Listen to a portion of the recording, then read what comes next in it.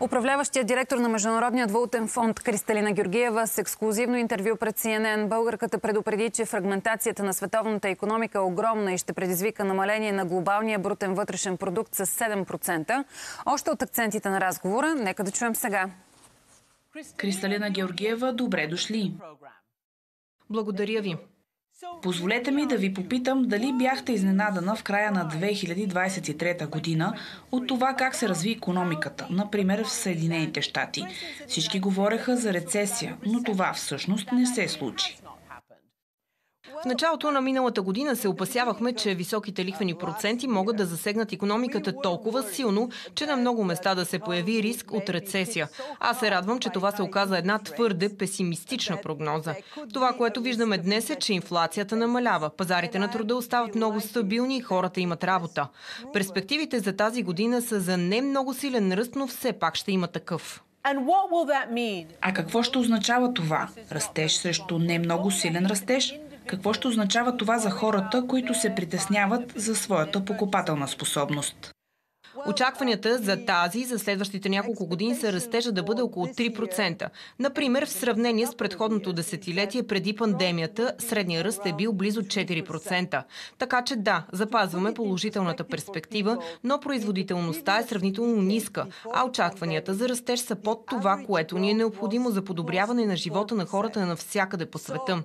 И това, което е още по-обезпокоително, Кристиан, е, че има страни предимно с ниски доходи, които през последните последните години изостават все повече, вместо да наваксват. Така че света трябва да се обедини, за да бъде по-проспериращ за всички. Моето желание е да преодолеем това, което ни разделя, да се обединим и да работим заедно в полза на всички. Okay, so that's really interesting. The idea that Добре, това наистина е интересно. Идеята, че политическото обединение, а не фрагментацията е по-добро и за економиката. Това, което искам да ви попитам, се отнася конкретно за Съединените щати. Какво според вас ще бъде състоянието на економиката през 2024 година? Uh, we expect in 2024 uh, the trend in inflation going down to continue. Очакваме през 2024 тенденцията за намаляване на инфлацията да продължи. И на базата на това Федералния резерв вече обяви, че има перспектива лихвените проценти да започнат да се понижават. Това ще бъде облегчение както за бизнеса, така и за домакинствата. Виждаме, че перспективите за растеж в Съединените щати са доста добри и това се изразява в много стабилния пазар на труда. Можем да кажем, че Определено днес американската економика се основава на така нареченото облегчено кредитиране. Значи хората трябва да се чувстват добре по отношение на економиката. Това така ли е? Хората би трябвало да се чувстват добре по отношение на економиката, защото най-накрая ще видят облегчение на цените. Умерената инфлация, която вече се понижава и продължава да се понижава, се дължи на решимостта на Федералния резерв да увеличи лихвените проценти. И макар, че това беше болезнено, особено за малките предприятия, то донесе желания ефект, без да тласне економиката към рецесия. А това за всички американци е добра новина, защото имат работа и цените най-накрая започват да се нормализират нормализират. So can I ask you this? Мога ли да ви попитам следното? Така наречените усещания. Те са нещо, което младото поколение използва, за да описва всичко. Изглежда обаче, че има някакво усещане, което не е в унисон с ситуацията в Съединените щати в момента. Може ли да обясните това? Защо хората се чувстват толкова зле по отношение на економиката, въпреки успехите, които току-що изтъкнахте и факта, че тя би трябвало да се подобри през 2024 година?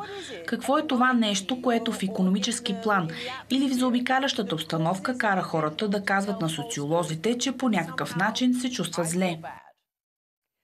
Два са факторите, които определят усещанията в Съединените щати, а всъщност и на други места. Единият е динамиката на цените. Кристиан, в продължение на десетилетия свикнахме с много ниска инфлация. Забравихме какво е инфлацията да се повиши. И изведнъж тя рязко скочи. Това се отрази на настроението на хората, защото за някой от тях, по-младото поколение, например, дори не знае какво точно е това нещо инфлация. То не е преживяло такава до момента. Второ, ликвените проценти отново се повишиха. Дълго време лихвените проценти бяха много ниски и понякога дори отрицателни. И когато свикнеш да взимаш ефтини заеми и след това лихвените проценти скочат, това е шок. Разбира се, те скочиха, за да се справим с инфлацията, но за обикновените хора тези две неща изглеждат като проблеми, а не като, че едното е проблем, а другото е решение. Едва когато решението наистина проработи, хората ще се чувстват по-спокойни, след като видят, че лихвените проценти намаляват. Първо, инфлацията намалява, а след това и те се понижават. Моето послание към всички обаче е, че щом имате работа и лихвените проценти ще се понижат през тази година, защото инфлацията намалява. То тогава развеселете се хора. Това е нова година.